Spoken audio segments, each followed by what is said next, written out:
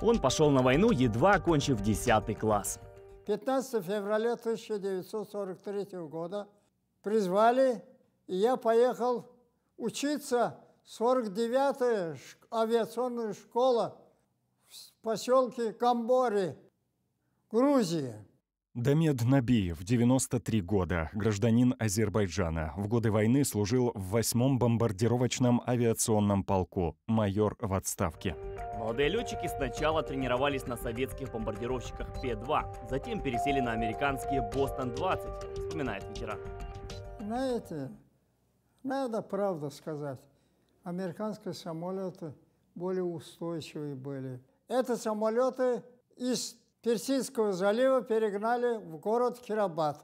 Через три месяца мы закончили это учебные тренировочные полеты и полетели прямо на фронт в Польше, недалеко от Варшавы, город Парчев был.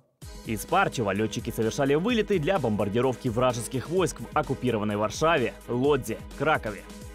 Дамет Набиев вспоминает, всего за месяц он потерял многих сослуживцев, а несколько раз и сам был в шаге от смерти.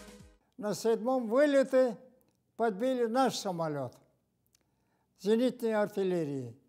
И перелетели мы только там э, река Висла и сели на вынужденную посадку. Были, конечно, много случаев.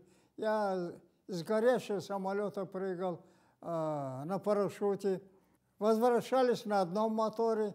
Ну, Бог сохранил мне жизни. Многие погибали, были тяжелые ранения, а у меня было, знаете, а, при вынужденной посадке перелом правой руки под плечем и ребро, закрытые переломы были. Но я все равно продолжал летать. Последний вылет у меня был на Берлин 2 мая 1945 года. После капитуляции Германии авиационный полк Дамеда Набиева передислоцировали в Украину, Запорожье. Украина мне очень понравилась.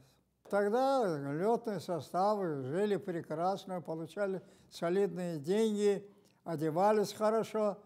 Э, каждый вечер э, мы ходили на танцы, и там я встретился с, с этой Любой, э, полюбили друг друга. Конечно, тогда был молодым человеком. Мне была Саранова любовь, очень прекрасная девушка. Хотел ей жениться, но когда приказ прибыл, нас э, расформировали наш полк, мы улетели в Ленинград, и после этого связь мы потеряли с ней. После Ленинграда Домет вернулся в Азербайджан. До выхода на пенсию он продолжал службу в Бакинском военном округе и преподавал в местном институте военную подготовку. Сложилась и семейная жизнь. Домет Набиев дважды стал отцом. А вот с возлюбленной из Украины больше никогда не встретился, хотя помнит ее до сих пор. Передаю привет Любовь Саранова и всем украинцам, потому что Украина мне очень нравилась. Я очень хорошо чувствовал себя там, как будто у себя в своей республике. Дамет Набиев вспоминать об ужасах войны не любит. Нам в интервью он рассказывал больше о простых человеческих отношениях, ради которых тогда шли с оружием на врага, ради которых сейчас важно сохранить мир.